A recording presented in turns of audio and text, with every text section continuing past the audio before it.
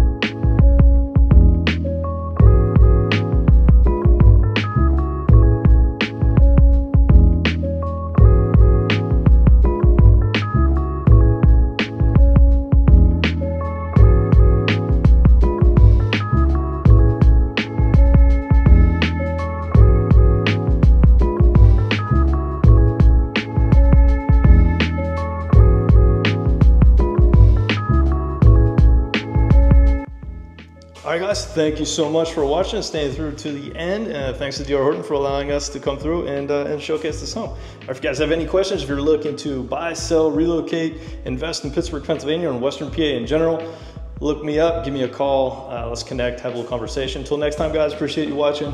Keep it real estate.